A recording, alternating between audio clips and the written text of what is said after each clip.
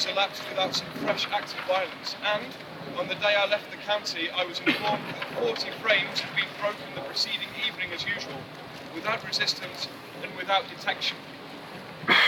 Such was the state of that county, and such I have reason to believe it to be at the moment. But whilst those, these outrages may have, uh, must be admitted to exist to such an alarming extent, it cannot be denied that they have arisen from circumstances of the most unparalleled distress. The perseverance of these miserable men in their proceedings tends to prove that nothing but absolute want could have driven a large and once honest and industrious body of the people into the commission of excesses so hazardous to themselves, their families, and the community. At the time to which I allude, the town and county were burdened with large detachments of the military.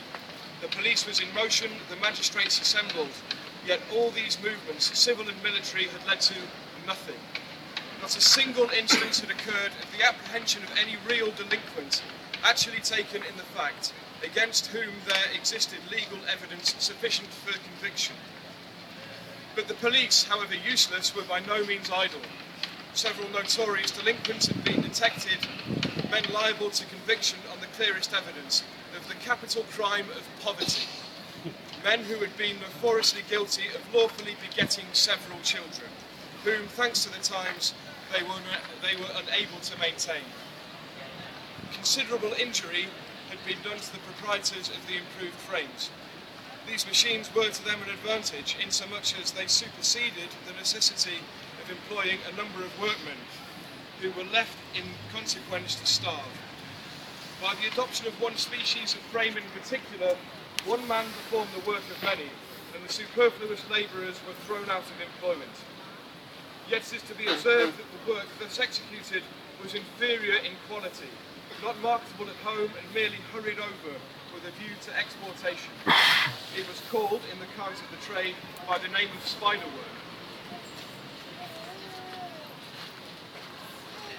The rejected workmen, in the blindness of their ignorance, instead of rejoicing at these improvements in art so beneficial to mankind, conceived themselves to be sacrificed to improvements in mechanism.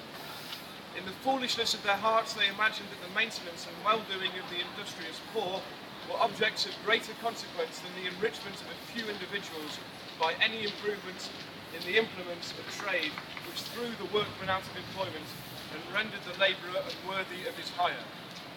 And it must be confessed that although the adoption of the enlarged machinery in that state of our commerce which the country once boasted might have been beneficial to the master without being detrimental to the servant, yet in the present situation of our manufacturers rotting in warehouses without a prospect of exportation, with the demand for work and workmen equally diminished, frames of this construction tend materially to aggravate the distresses and discontents of the disappointed sufferers. But the real cause of these distresses and consequent disturbances lies deeper. When we are told that these men are leagued together not only for the destruction of their own comfort, but for the very means of subsistence can we forget that it is the bitter policy, the destructive warfare of the last 18 years, which has destroyed their comfort, your comfort, all men's comfort? These men never destroyed their looms till they would become useless, worse than useless, till they would become actual impediments to their own exertions in obtaining their daily bread. Can you then wonder that in times like these, when bankruptcy, convicted fraud, and imputed felony are found in, state, in a station not far beneath that of your lordships, the lowest, once most useful portion of people should forget their duty in their distresses and become only less guilty than one of their representatives. While the exalted offender can find means to baffle the law, new capital punishments must be devised, new snares of death must be spread for the wretched mechanic who is famished into guilt. These men were willing to dig, but the spade was in other hands. They were not ashamed to beg, but there was no one to relieve them. Their own means of subsistence were cut off, all other employments preoccupied, and their excesses, however to be deplored and condemned, can hardly be the subject of surprise. Why were the military called out to be made a mockery of, if they were to be called out at all?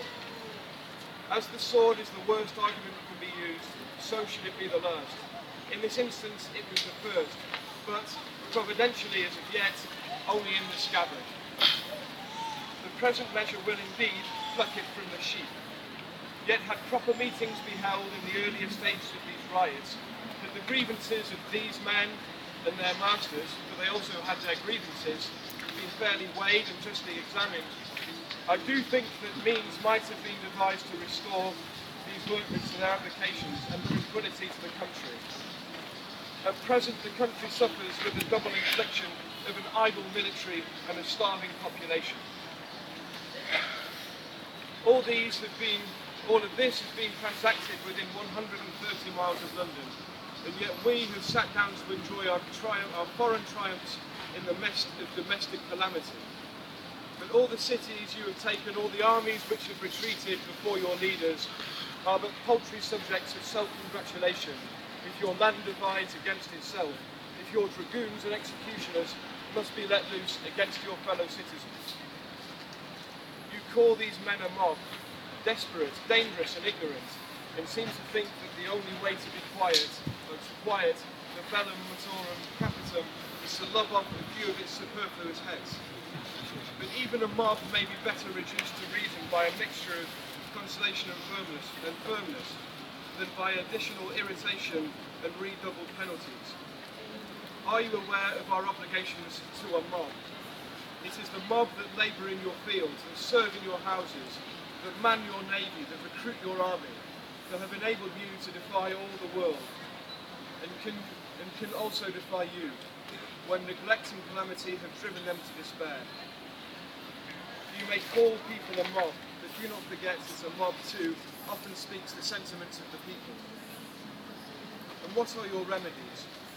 After months of inaction and months of action worse than inactivity, at length comes forth the grand specific, the never-failing nostrum of state physicians, from the days of Draco to the present time. After feeling the pulse and shaking the head over the patient, prescribing the usual course of warm water and bleeding, and warm water at your mortgage advantage in this. When a proposal is made to emancipate or relieve, you hesitate. You deliberate for years, you temporise and tamper with the minds of men.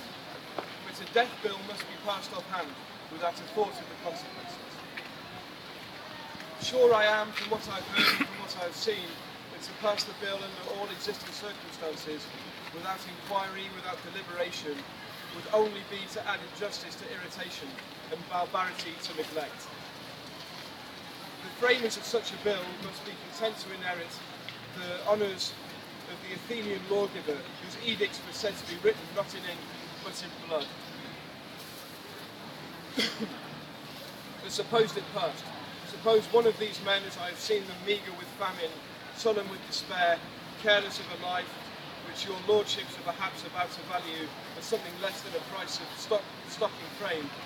Suppose this man, surrounded by those children for whom he is unable to procure bread at the hazard of his existence, about to be torn forever from a family which he lately supported in peaceful industry, and which it is not his fault he can no longer so support. Suppose this man, and there are 10,000 such for whom you may select your victims, dragged into court to be tried for this new offence by this new law. Still, there are two things wanting to convict and condemn him. And these are, in my opinion, 12 butchers for a jury and a Jeffreys for a judge.